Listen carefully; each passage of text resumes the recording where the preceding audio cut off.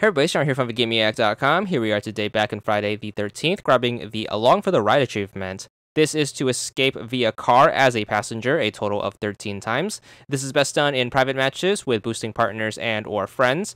You are going to need a minimum of three people to get this done. Two on the counselor side versus one Jason. You want to be on the counselor side for this. For our map, we're going to go with Packanack Small as it is a very small map that's easy to navigate and there are always going to be two cars on this map. So starting out, we are going to look for the three things we need to fix the car. Obviously the gas can, the car battery, and the car keys. Car keys can be found in drawers, gas cans, and car batteries can be found on the floor in the various cabins. Just make sure you search up all of the cabins you can. If you're doing this with actual help, make sure you have the person helping out also look for parts and make sure you bring them back to the car. Now, the cars can appear in three different locations on this map. If you need extra help finding them, just have the Jason player bring up their map by holding right bumper and hitting B, and you should figure out where the two cars are.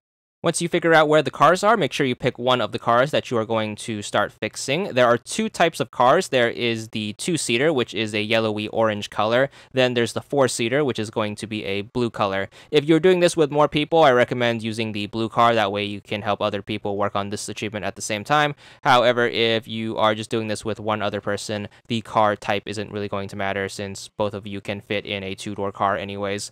So whatever the case, just make sure you bring the parts back. Gas can's going to go in the gas tank. Car battery is going to go under the hood. You are going to have to play the little repair mini game in order to fix them up, and you can only bring one at a time to the car. So there's going to be a lot of back and forth walking.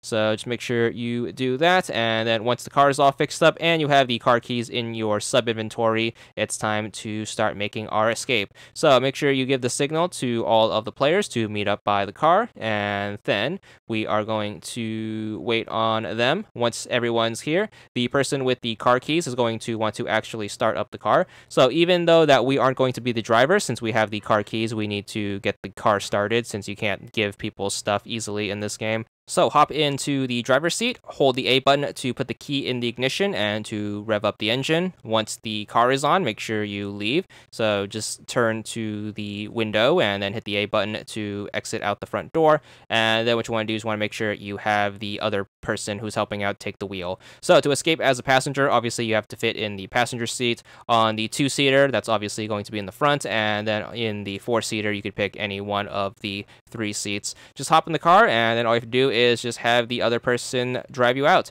Obviously, make sure you have the Jason player do nothing. They are just kind of there to take up space, but just have them hide in the corner and not be on the road because obviously if you crash into Jason, the car is going to stop. Just take your time with driving there as the person helping out and then make sure you don't hit any obstacles or get the car stuck. Make sure you drive to either one of the exits that's going to be on the right side of the map. Just drive up to this point and then once you get to the T-shaped intersection, take either turn. You can take the left left turn, which is quicker, and then just drive on the main road until you hit up the tunnel. Once you drive through the tunnel, that's going to count as one escape.